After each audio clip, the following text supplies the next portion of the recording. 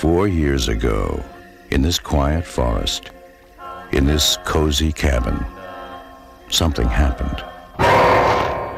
Something so frightening.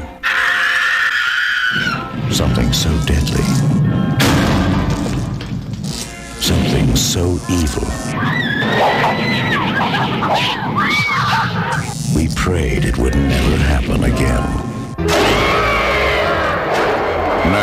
From the creator of Evil Dead comes Evil Dead